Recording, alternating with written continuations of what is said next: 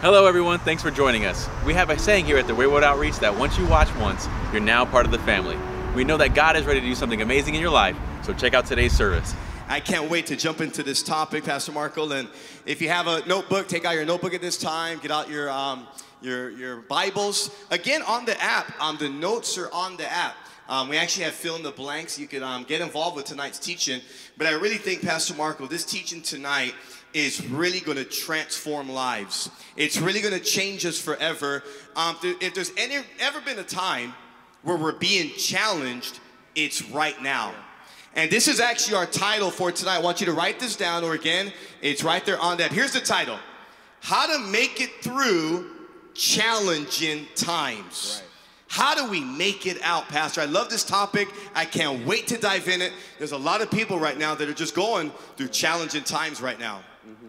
Yeah, and and and what we're gonna do as, as we cover this subject, I'm gonna give you I'm gonna give you two seasons of life, two seasons of life, and then we're gonna give you four steps or four things to overcome or get through difficult times. So two two seasons of life, and then four steps to get through difficult times. Yeah. I love what you wrote down here. Here's a note. We will all go through these two seasons of life.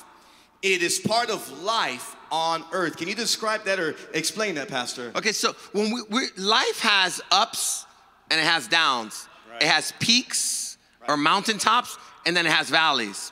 You shouldn't be surprised that you go to peaks to valleys, peaks to valleys, because it's part of life. Now, the victories are won not on the peaks.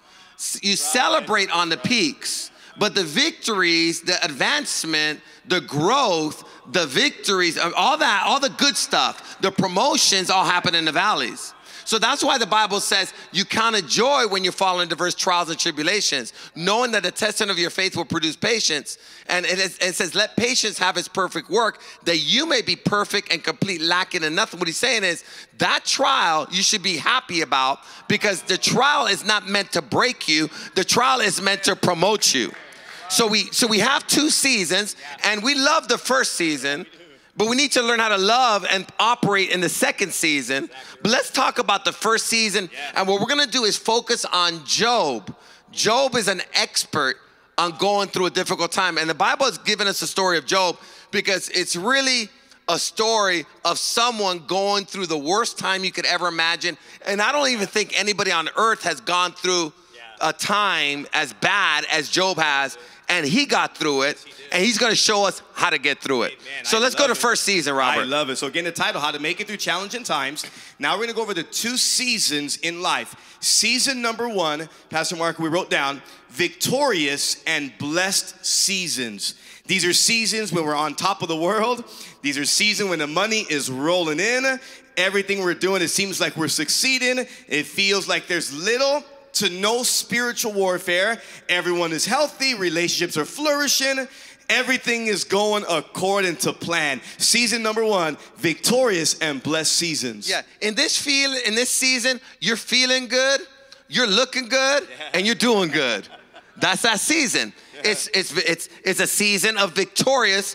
It's a victorious and blessed season. And let's look at that season in Job's life. In Job chapter 1, verse 3, it says, There was once a man named Job who lived in the land of, of Uz. Now, there was, there was what the scripture is saying, this is a real story of a real man. It says, He was blameless, a man of complete integrity. He feared God and stayed away from evil. He had seven sons and three daughters. He owned 7,000 sheep. That's a lot of sheep. 3,000 camels. I've never seen 3,000 camels. I've seen one or two at a time. 500 teams of oxen, 500 female donkeys, and he had many servants. It- he was, in fact, the richest person in the, in the entire area. So this guy had it going on like the break of dawn.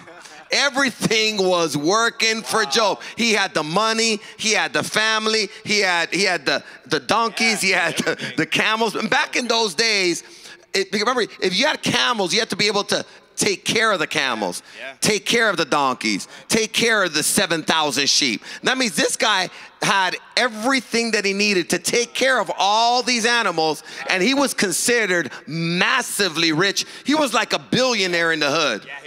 He was that guy. So we look at his first season, everything's great, but in this season, there's little to no testing. You're not being, it's little, they're not, I'm not saying you're being tested, but it's little to no testing. You're cruising in life. Now, we really don't know how strong you are until you have adversity. So the first season is a victorious and blessed season. How many enjoy those seasons when they come? Oh man, they're good. Love it. But life is not just those seasons. Season number two. Let's go to that. season And number like two. what you said earlier, again, we will go through these two seasons of life. It is part of life on earth. Yeah. So you'll go through victorious times and now Season number two. number two. And you're gonna experience these seasons throughout your whole life. Season number two, challenging and warfare seasons. Can you explain that, Pastor? Well, these are the seasons where your money dries up. Things are not going as planned. Loss of job, sickness, persecution, relationships are falling apart, feeling depressed, business is struggling, your children aren't living right. Running, you're running into a wall of resistance. It seems like you can't get a breakthrough. Nothing looks like it's growing or improving. Wave after wave of bad news. It appears that everything is going from bad to worse. Job also experienced this season, and the whole book of Job is based on season number two. Now, it doesn't end on season number two, but the majority of the book is talking about season number two because he goes from this season back to victorious and blessed season. But let's let's look in Job chapter 1 verse 13 through 22. It describes Job's challenging and warfare season. Here it goes. Job chapter 1, 13 through 22. The challenge and warfare season. One day, when Job's sons and daughters were feasting at the oldest, older, oldest brother's house, a messenger arrived at Job's home with this news Your oxen were plowing with the donkeys feeding beside them. When the Sabaeans raided us, they stole all the animals and killed all the farmhands. I'm the only one who escaped to tell you. While he was still speaking, another message messenger arrived with this news. The fire of God has fallen from heaven and burned up your sheep and all the shepherds. I am the only one who escaped to tell you. While he was still speaking, a third messenger arrived with this news. Three bands from the Chaldean raiders have stolen your camels and killed your servants. I'm the only one who escaped to tell you. While he was still speaking, another messenger arrived with this news. It's like one thing after, news after another news after- after another. Kind of explains stop. 2020 right now just a little bit. it's like I'm scared to turn on the news for five minutes. It's one thing after another. This really explains where we're at. While he was speaking, another messenger arrived with this news. Your sons and daughters were feasting in their oldest brother's home. Suddenly, a powerful wind swept in from the wilderness and hit the house on all sides. The house collapsed, and all your children are dead. I'm the only one who escaped to tell you. And this all happened in one day. Wow. You're talking about changing seasons. And and this this season just changed. The other day, so my one of my daughters said, officially, this is fall. yeah. And and officially, a season changed in one day in Job's life. He literally lost everything, all his kids, all his servants, all his animals, all his riches in one day. Now, Job gets through this season, season number two. He gets through it. And what we're gonna do is discuss this story and we're gonna just look at a few verses on how he overcame or eh, how he overcame a challenging season.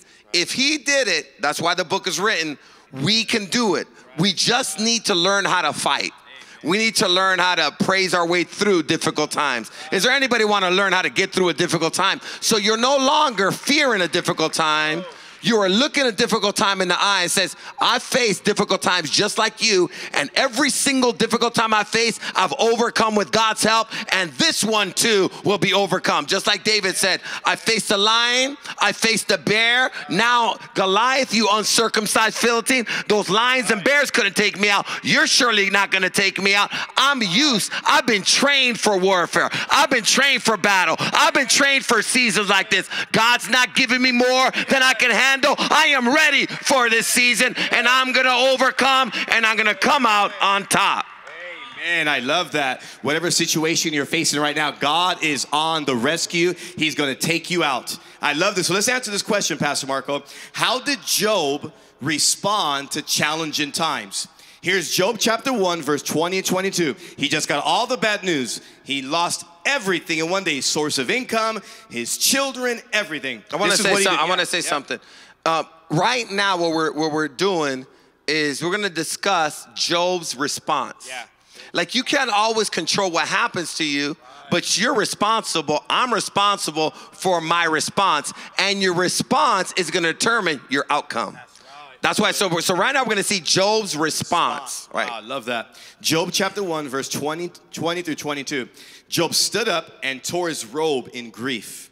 Then he shaved his head and fell to the ground to worship. He worshiped. Wow. Verse 21, he worshiped after all the bad news. He said, I You, you would have thought he would have started cussing. Yeah, so cussing, exactly. Cussing, getting mad, right. throwing a tantrum, going no, crazy at this time. He worshiped. He worshiped. Verse 21 is, and he goes into this prayer. Look at this mature prayer. I've never prayed this. Look at this mature prayer that he goes right into after worship. He said, I came naked from my mother's womb, and I'll be naked when I leave. The Lord gave me what I had, and the Lord has taken it away. Praise the name of the Lord. In all of this, Job did not sin by blaming God. Man, that's powerful. So what did Job, how did he respond? What is number one? his how did he first his first response, it would say this first step, he worshiped God. See, we find out who we who who we are in our trials and tribulations. Who or what do we run to during difficult times? So we find out the real you under pressure. Anybody could be all happy and worship and praise God and say all kinds of great things when you're in the first season, the victorious and blessed season. But in the challenging and warfare season, this is where the true worshipers shine. This is where the true winners or the, the true leaders are developed. So he worships God. See, to worship, it's to prostrate oneself before God as an as an as of in honor to humbly come to God with our prayers and submit to oneself. So the first thing he did, he turned to God.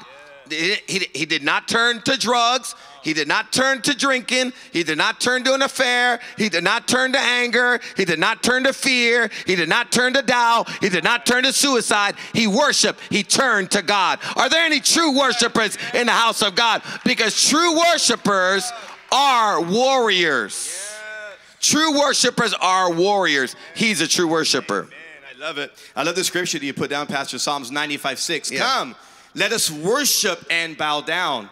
Let us kneel before the Lord, our Maker. I love this statement you put down. Real worshipers worship in the good times and also in the bad times. I love that. See, God is looking for some real worshipers. Yes.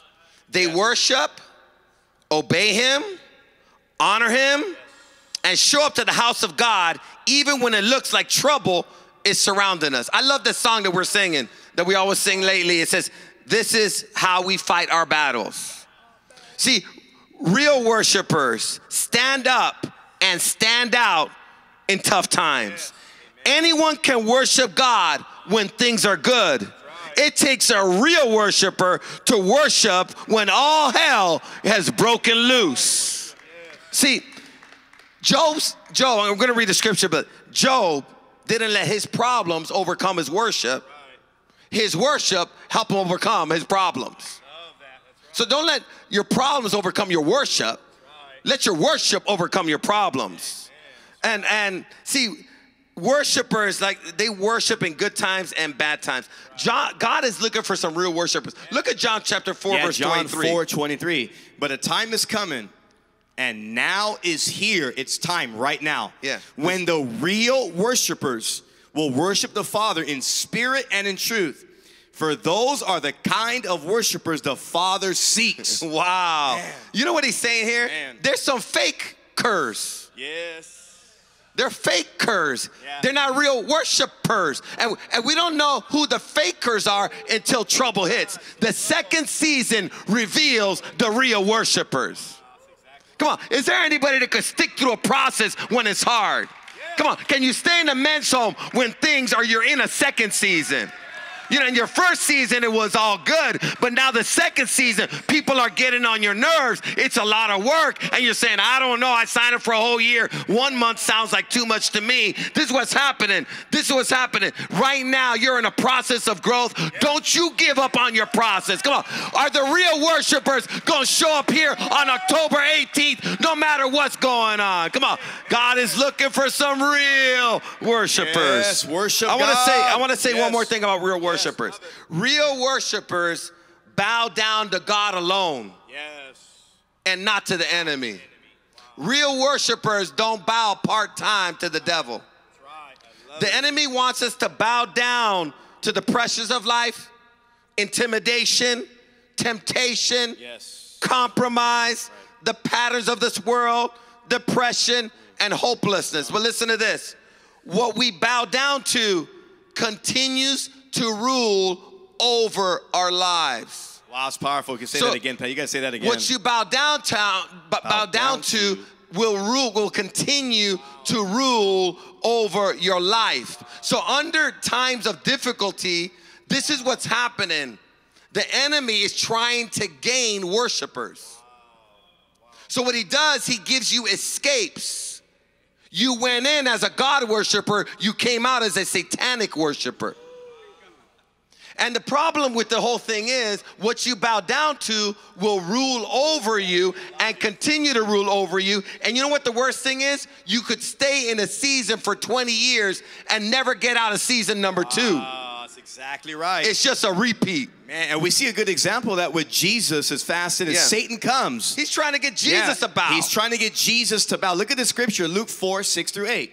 Then the devil took him up, took Jesus up, showed him all the kingdom of mankind in a sudden vision, and said to him, I will give you all this power and magnificent magnificence, for it belongs to me, and I could give it to anyone I please. this is the devil speaking. Man. Look at And the vocabulary, it- yeah. magnificence. and it said, It shall be yours. Here it goes. It shall be yours if you fall down and worship me. Bow down. Man. So Satan was trying to give Jesus a shortcut. There are no shortcuts.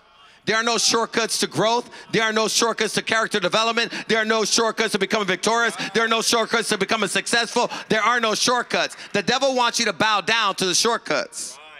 But this, what did Jesus end up saying? to, to this, Jesus replied, It is written, You shall worship the Lord your God, and him only you shall serve.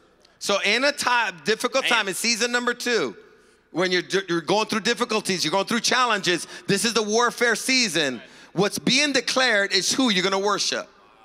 And I'm, this is what we're saying. It doesn't matter what, devil, it doesn't matter what you bring our way. It doesn't matter if you persecute us. It doesn't matter if you try to shut our church down. You're not gonna shut down our worship. We will worship God and serve God no matter how dark it gets. Will the true worshipers please stand yes, up? give Jesus a shout of praise.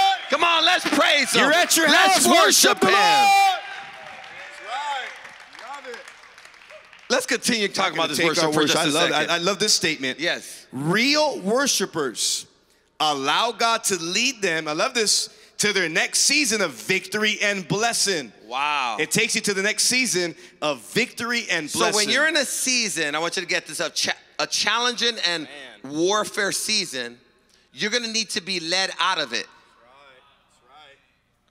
God leads you to your next season. It's not like the weather, it just changes automatically. Real worshipers get out of one season with victories. They come out of another, they come out of the season with growth. They don't stay stuck in a season. Look at Luke chapter 4, verse 8. I love that. No, I'm sorry. No, John, Job chapter 42, verse 12. Now, this is 42 for 12. Job 42, 12. Now, we're seeing Job. Remember all the trouble? Yeah. Because he's a worshiper, Yeah. he was led out of that season right. back into a victorious and blessed season. Wow, look what happened to Job. Job 42 12. So the Lord blessed Job in the second half of his life even more than in the beginning. Wow. So Job had a second half. In this first half, nine months, he went through this trial. But thank God, another season was coming. Whatever you're going through right now is just temporary. There's some things I wrote down I want to read. What, what and who we bow down to, we give authority to, and will determine and define the next season of our lives. Real worshipers end up, I mean, end up with God's will and results being done in their lives. Worshipers are moving towards a victorious and blessed season. Worship makes our present difficulties temporary and gives God permission to restore his blessing in our lives. Because Job was a true worshiper, God took him to another level of blessing over his life. He literally got double for his trouble. Worshipers go from glory to glory, from glory to glory, from one level to the next level. That's why you can't stop me because I already know the key to my breakthrough is that I keep on worshiping my God and I don't let my problems overcome my worship. I overcome my worship by, I overcome my problems by worshiping God. Come on, give God just one more praise. Are there any worshipers at home? We worship you, Lord. Doesn't matter what we go through, we are going to worship God. And that's what Job did. So, how did Job respond to all this calamity? How did he respond? He worshiped God. Man, number he one. worshiped. He did. he sure did. And number two, what did Job do? Here we go. Number two, he trusted God. He immediately declared his trust in God. He gave me what I had, and I trust him with my life. He is in charge even when my season changes. My faith and trust doesn't change when my circumstances change. I love that He, he declared, I trust God. He was saying, you know, God gave me everything I had, had already. He goes, really what I had and the riches I had and the family I had and the animals I have, he created all of it and he blessed me with it. Wow. And he said, and the reality is, naked I came in and naked I'm gonna go. What, I'm, what he's saying is, I'm not taking nothing with me anyway. So let's put it all ba- back in perspective. And what he was saying is, I trust God no matter what. So those things don't mess with my faith because I didn't trust in those things to make me whole. They were just a blessing. But my true blessing is God. And I want to let you know right now, I know I'm grieving and I'm crying right now because I've lost my family. I've lost a lot of things today. But I want to declare it and I want everybody to know naked I came in and naked I'll go out. And then he goes like this Praise the Lord, it's going to be okay. Powerful. Come on, can anybody have that kind of faith? Yes. Give us that faith, God, tonight. Give me that faith. I love that. I love this statement. Job was actually saying, he was saying this as long as I have God, I'm good. I like that. As long as I have God, I'm, I'm good. That's true. Man, I love that statement. I am trusting in God and I'm content no matter what the circumstance is. I trust God in all circumstances. There isn't a circumstance that I can't overcome and get through with Christ. Yes. I love the scripture you put down Philippians 4 11 through 13. Not that I was ever in need, for I have learned how to be content with whatever I have. I know how to live on almost nothing or with everything. I have learned the secret of living in every situation. Secret. I've learned the secret of living in every situation, whether it is with a full stomach or empty, with plenty or little, for I can do everything through Christ Jesus who gives me strength. Man, Wow. You know, we read that scripture, I can do all things through Christ who gives me strength, and, but we don't read the other part. He's talking about a season two. I'm in the second season. I'm going through some challenging times. Uh, It's challenging, there's a lot of warfare. But let me declare this I can get through any season through Christ who strengthens me. Because you can't conquer me because you can't conquer the one that's in me. Because the one that's in me is greater than anything I'm facing. Greater is he that is in me than he that is in the world. I'm good. I overcome and I'm content because I know how this all ends. It's a win. I love it. I love this statement. When we place our trust in God, He will straighten it all out. Trusting in God keeps Him in charge. Right. How many want God in charge? I love that. Proverbs 3 5 says this trust in, trust in and rely confidently on the Lord with all your heart, and do not rely on your own insight or understanding. In all your ways, know and acknowledge and recognize Him, and He will make your path straight and smooth. I love this in the Amplified. Removing obstacles that block your way. I love that. Man, so the scripture is saying, those that trust God, this is what God's saying, I'll work it all out. I'll smooth it all out. It doesn't matter what's it doesn't matter what obstacles are in your way. I will remove them because I'm in charge. This is what worship with praise does and trust in God does. It keeps God in charge. Come on, when God's in charge, he works it all out for good. I love that. And I love the statement you put down, and this is what Job did. Our trust in God must not only be in our hearts, but in our mouths. Right. Job began to worship and put his trust in God with his mouth. I love that. Psalms 28 7. The Lord is my strength and my impenetrable shield. My heart trusts with an unwavering confidence in him, and I am helped. Therefore, my heart greatly rejoices. And with my song, I shall thank him and praise him. We got to do it also with our mouths, not just our hearts. You know, I love that. when we talk about your mouths and your heart working together, this is what, uh, what I wrote down. What is in our hearts and declared through our mouths affects our emotions, perspectives, and outcomes. After a declaration of our trust in God comes joy and celebration, or joy and results. Just because the circumstance hasn't changed doesn't mean our emotions and outlook can't change.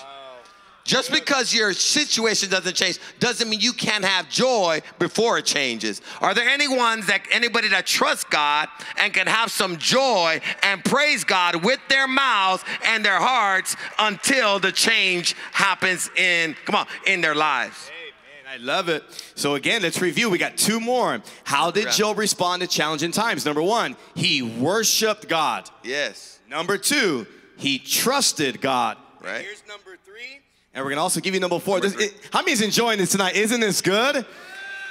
And, and not only keep it to yourself, share it with somebody, share it with a family or friend that's struggling right now, that's in a challenging time. Number three, Job, he praised God.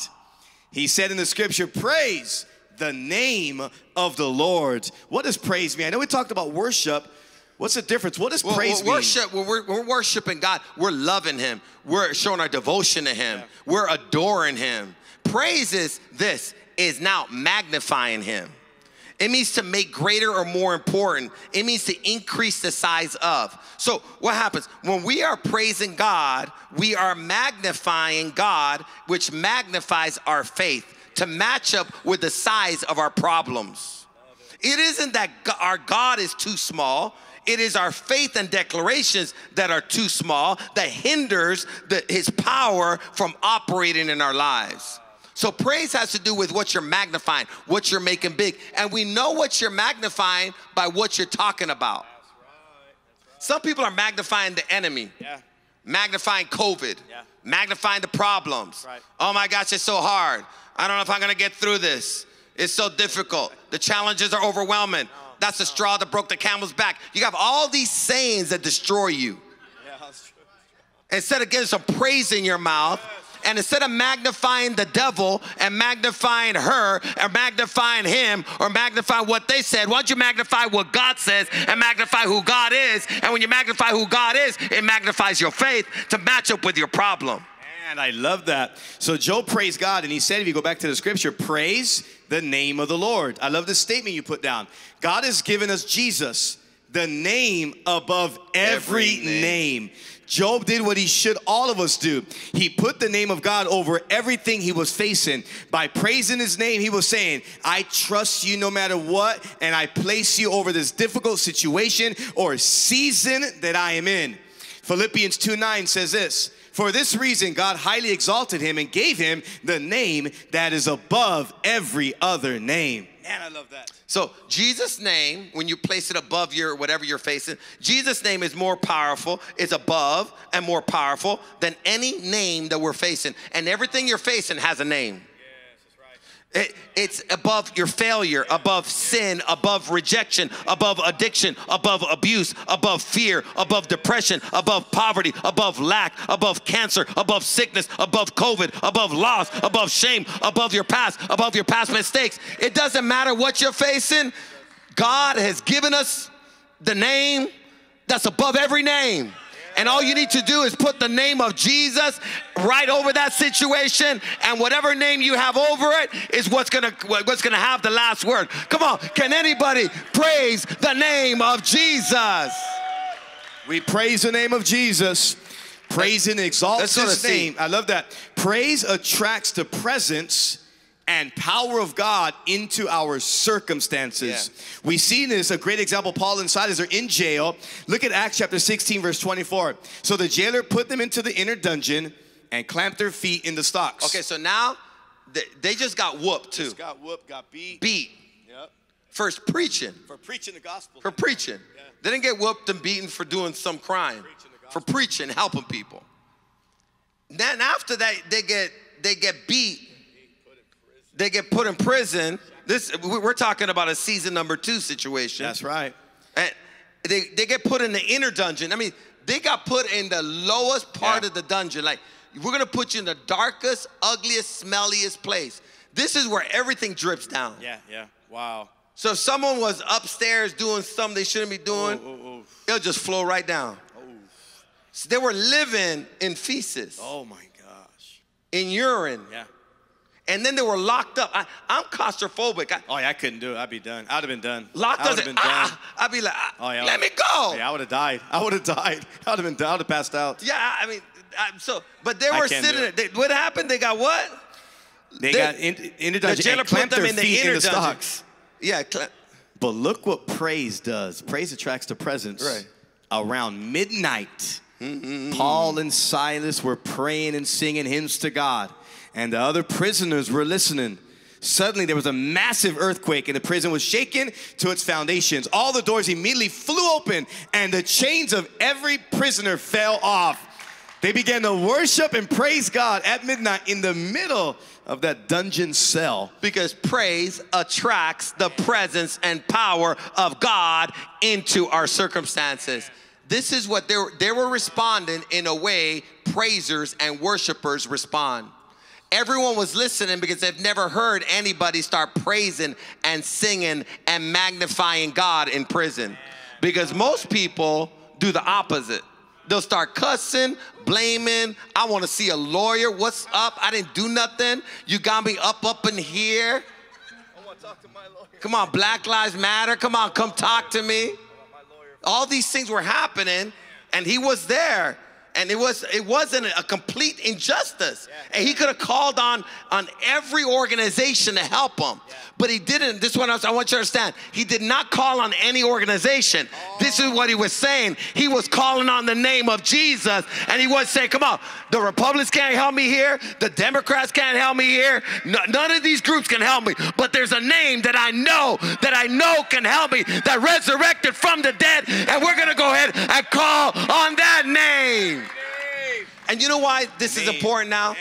Because we're in a time that we're dealing with so many issues. We gotta make sure, yes, we deal with the issues, Right. but don't you forget to include the one that can change your seasons and turn your situation around. Let's do this. Let's make sure his praise is continually in our mouth. In our Facebook, in our Instagram, we never stop praising God. Give God just one more praise. We worship God. Job worshiped God. He trusted God. He praised God. And here's number four in closing tonight. He did not blame God. Right. Man, we're so quick to blame people, God, friends, boss, spouse, you name it.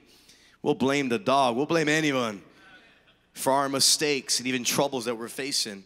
I love this statement. One of the greatest temptations we will ever face in a challenging season is the temptation to complain and blame. That's the greatest temptation. I- That's exactly right. See, and when we're complaining, it is the same thing as blaming God. Oh, when we're complaining, we're saying, God, you don't know what you're doing. And God says, I know exactly what I'm doing. I'm preparing you, I'm building you. You can have a greater testimony. You got to trust me. Let endurance have its perfect work. Don't you give up. Don't you quit.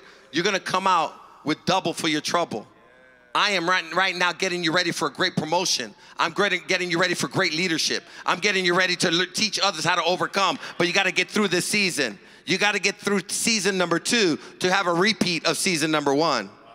So look at Exodus 16 8. Yeah, Exodus so when we're 16:8. complaining, it's the same thing as blaming Yeah. God. Then Moses continued, You will know it is the Lord when he gives you meat each evening and more than enough bread each morning. He is really the one you are complaining about. Not us. We are nobodies. But the Lord has heard your complaints. Wow. Man. So we're complaining about people and we're complaining about circumstances. God's saying, You're really complaining about me. About me. Hmm. Let's think about that. Complaining attracts the spirit of Yeah. destruction and keeps us in the season we're in. Wow. You'll never get out of a season. You'll never get out of season you're in until you learn how to praise God and be thankful for every season you're in. As long as you're complaining, you are stuck. And I'm wondering who you who are we blaming? What are we complaining about? Because as long as you're complaining and blaming, you are your worst enemy. And instead of attracting the presence of God and attracting his power and attracting his blessing, you're actually attracting demons of destruction. So let's read that. Yeah, you see that scripture in 1 Corinthians 10:10. And do not complain as some of them did, and were destroyed by the destroyer. Wow. So they complained and they Yeah. were what?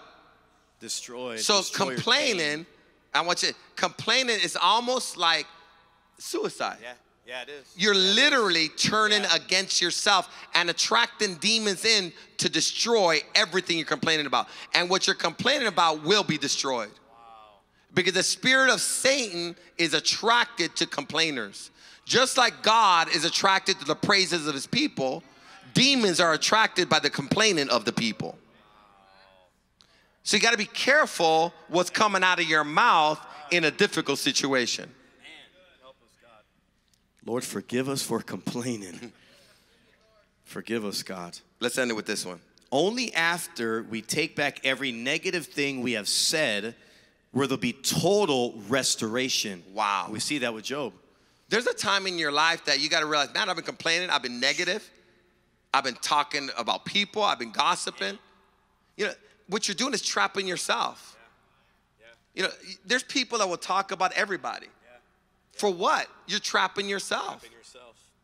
You know, that's why the Bible says even bless your enemies, because when you're blessing your enemies, this is what happens, you get blessed. What, what you're putting out is coming back. When you're judging others, you just bring it back on yourself. That's why I feel sorry for people that will talk about about even leadership. I'm like, Ugh, please don't do it. You're gonna mess your life up. And there's some people, and what I've realized, people that are going nowhere, all they could do is talk about other people. People that are going somewhere, you know what they talk about vision? They don't talk about people. I don't got time to talk about people because I got too many things to do. I got too many places to go. And I got too many devils to stomp out. I love it. I love it. But look, I, but, but this is what happens. After, but you got to take it back. you got to take it back. Look at the verse in Job, Job, 40. this is what Job did. Job 42 6. I take back everything I said, and I sit in dust and ashes to show my repentance. Job 42 10. When Job prayed for his friends, the Lord restored his fortunes. In fact, the Lord gave him twice as much as before. Wow. Double for your trouble. Double for your trouble.